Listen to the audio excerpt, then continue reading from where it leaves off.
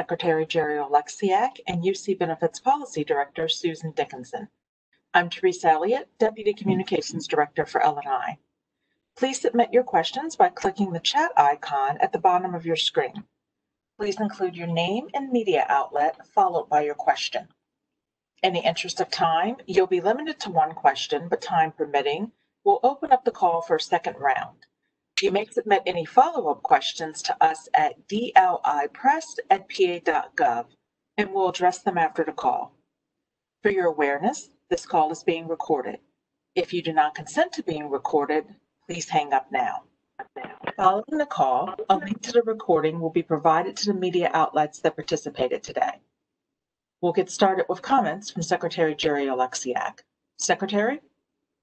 Thank you, Teresa. Good afternoon, everyone. We uh, appreciate you joining us for the second time this week. Uh, we uh, wanted to do another call this week because we will not be available for calls next week.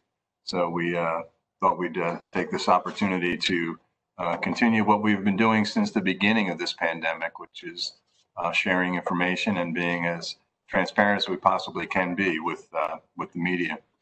Uh, one of the things I'd like to start with, um, as, as you know, I usually begin with the numbers, and I will do that. But we want to point out that uh, we have been uh, looking at our numbers. We've been evaluating our data, our internal data processing uh, related to the pandemic. And we have made some changes. For example, earlier uh, last month, we uh, aligned our numbers to be more consistent with the um, federal government's numbers. We were reporting different at different times, and that uh, created some inconsistency. So we've uh, looked at that. We want to, uh, to let you know that uh, we have found an inconsistency in uh, some of our internal reporting related to the uh, benefit amounts that we've paid. I want to be very clear about this and very specific that the correction we'll be making and I'll be talking about is only to the data that we compile and share. Nobody has lost any um, uh, benefit dollars. None of the claims or claimants or our programs were impacted. This was a, an internal uh, glitch in our mainframe that we have found and have corrected. That uh, resulting correction will mean that our um, total amount of regular unemployment compensation claims paid will drop. Uh, you'll hear today, I'll, I'll, what I would have normally reported as more than $32 billion will be now more than $23.6 billion there was a, a glitch in the system where some of the uh, FPUC money that was paid to, that's the extra $600 that was paid to our regular UC claimants was basically being counted twice. And uh, we found that error. We have fixed that error. Uh, as I said, no one, uh, this is an internal uh, um, issue uh, that we have found. No one has been impacted by this as far as programs or dollars. And it also will not impact the trust fund. We had talked about last week that we will be um, borrowing from the trust fund. This this has nothing to do with that. And in fact, getting ready for the borrowing is how we we uh, found this number. Uh, we have uh, uh, put more checks and controls, internal controls in place to make sure that we've got this corrected. We'll continue to evaluate uh, what those stats are and how we report them, as we have done from the beginning of this. And um, we can talk more about that as we as we move on. Let me give you the numbers then. Since March 15th, we have, excuse me, pardon me, we have paid more than $23.7 billion in benefits to our fellow citizens, 4.3 in our regular UC program, 15, uh, $15 billion in the uh, federal pandemic unemployment compensation program. That's the extra $600 that ended the week of July, uh, the week that ended July 25th. 4.2 billion in the pandemic unemployment assistance program for those not traditionally eligible 198 million with an m from the PEUC program the pandemic emergency unemployment compensation program and 16.3 million again with an m from uh, Pennsylvania's extended benefits program. So uh, those are the numbers that we have for that. Um, as we have been reporting uh, the percentage number, 94% of our eligible claimants who filed for unemployment between the week of March 15th and July 4th have either been paid or have been determined to not be eligible for benefits. Uh, the remaining 6% are claims that the automated system couldn't approve for various reasons that we have uh, talked about before, and uh, they are being individually reviewed by our staff, and we do have a, a focus, a priority on getting the older claims done as quickly and as effectively as we possibly can. In order to do that, we've worked, our staff has worked uh, close to 230,000 total overtime hours since March 15th. We have gone from uh, 775 employees in our service centers to our current total of 1,719. Uh, for the month of July, we brought on 452 um, support staff and new employees, and we are working with the um, uh, governor's office and the budget office to bring in even more staff that will uh, and working uh, with outside vendors to bring in more staff um, to our call centers. Uh, since March 15th, we've responded to over 700,000 emails, about 334,000 phone calls, close to 125,000 live chats, and about 280,000 uh, virtual assistance uh, calls that we have received. And as I have said from the very beginning of this process, uh, we are very proud of those numbers. Uh, the fact that we uh, adjusted the uh, statistics does not mean that our staff has worked any less, any less hard. We have been uh, working diligently to meet the needs of our fellow citizens. And as, as I've said from the beginning, these are not nameless, faceless people to us. These are our friends, our neighbors. as I'm sure many of you have, we have had, I have had um, friends, relatives uh, impacted by unemployment, impacted by COVID. And uh, we, we take it very seriously. Uh, we need to do what we need to do to make sure that we get those benefits to those people who deserve them. Uh, part of those benefits, of course, have been FPUC, the extra $600, the Federal Pandemic Unemployment Compensation Program, which ended, as I said, uh, the week ending July 25th. Um, Governor Wolf and I have been urging Congress to extend those $600, uh, six, the extra $600 in benefits. Uh, it's uh, being hotly contested, hotly debated right now in uh, Washington. Uh, we have reached out to our congressional delegation. The governor has uh, will be has done press conferences, and I'm sure we'll be doing more related to our support for the extra $600 continuing and the need for that to continue. These are these are dollars that are are uh, going right back into Pennsylvania's economy. They are paying bills uh, that people have to keep food on their table, to keep a, a roof over their heads, to excuse me, to make their car payments.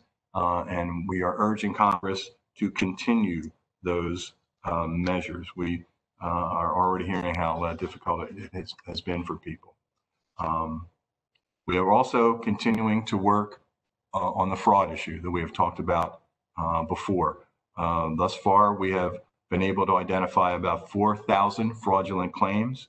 Uh, we're partnering with the U.S. Attorney's Office in Philadelphia, the Pennsylvania Attorney General's Office, the PA Treasury, U.S. Bank, other federal agencies um, in an ongoing criminal investigation. And, and, again, this is not something that has uh, impacted just uh, labor and industry in Pennsylvania. This is a nationwide pandemic. We're urging people uh, to remain vigilant to, uh, if they have any suspicion that something may be amiss, uh, they should go on our website and they can uh, check uh, not only how to get that fixed, but a list of the warning signs that they, they would find. Um, that website, as, as you know, is dli.pa.gov. And any instructions related to fraud will be available there. And we are continuing. The last thing I'll mention before we turn it over to Susan we are continuing our virtual town halls. We have had 11 town halls with uh, the public thus far. We'll be doing our 12th one uh, Thursday, August 13th at 1 o'clock, uh, live streamed at access.live slash, excuse me, let me start that again, access.live slash PA labor, or uh, you can call 833 380 0719 uh, for uh, access to that town hall. Uh, with that being said, I'll turn it over to Susan and then we will be happy to take your questions. Susan? Thank you. Good afternoon, everyone. The one thing that I wanted to point out today before we get on to the questions is that we have put a new infographic on our PUA website, www.uc.pa.gov slash UA. Um, and the infographic shows 10 categories of individuals who are not eligible for PUA if they're in that situation.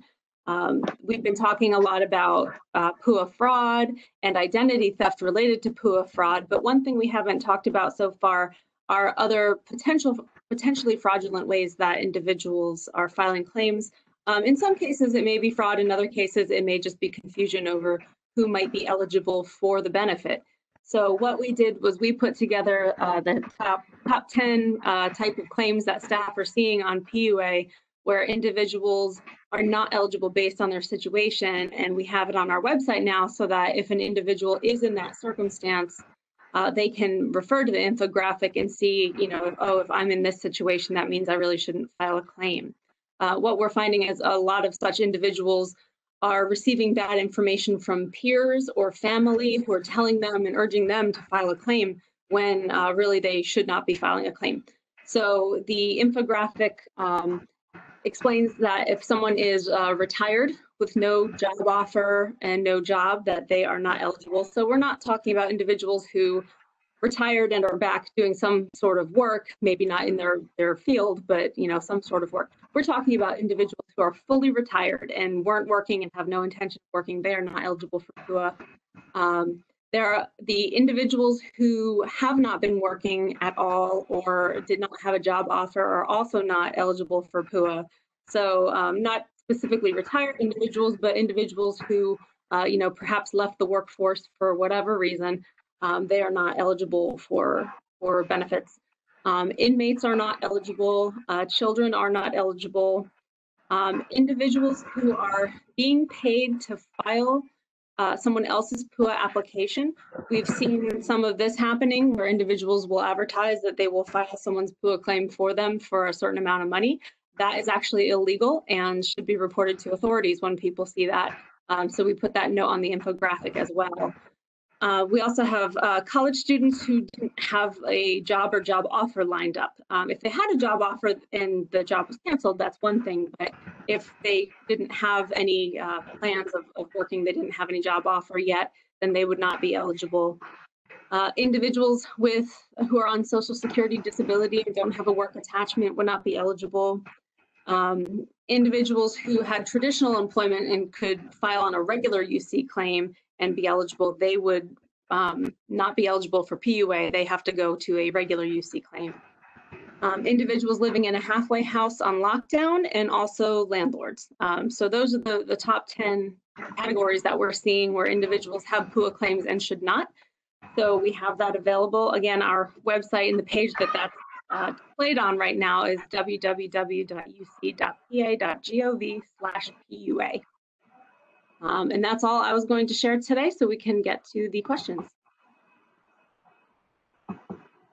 Thank you for that information, Susan. And before we get started, um, I'd like everyone to please take a look at the bottom of their screen. If your microphone is not muted, can you please mute it at this time?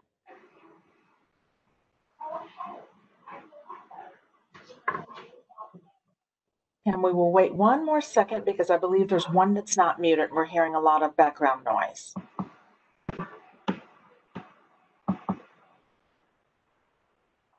Okay, we're going to take our first phone um, call today, and we have Justin Sweitzer from PLS Reporter. With about 6% of Pennsylvanians still not receiving their unemployment compensation benefits, what do you advise them to do as they wait for their payments?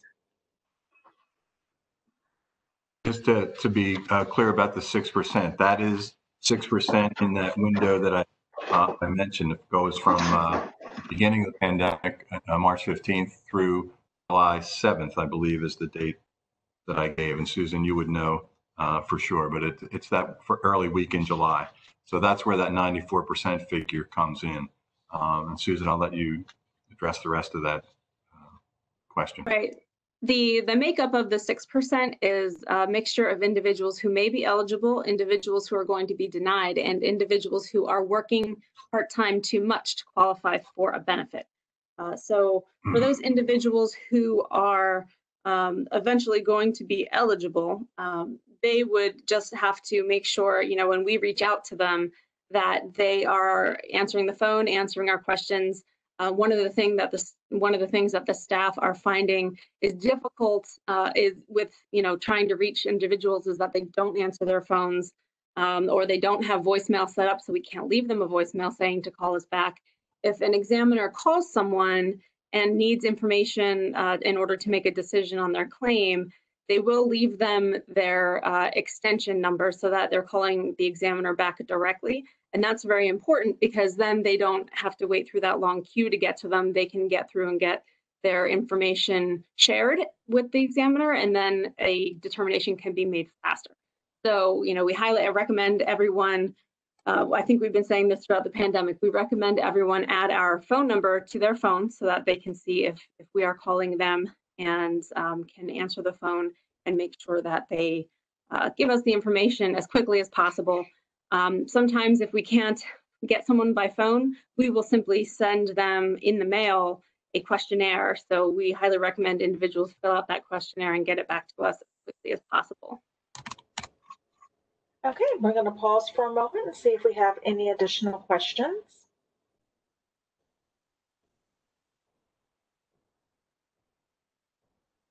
And just a reminder, we are doing this additional call today because we will be unable to do a call on Monday. So if anyone has any additional questions about UC or um, filing UC claims, please submit them at this time.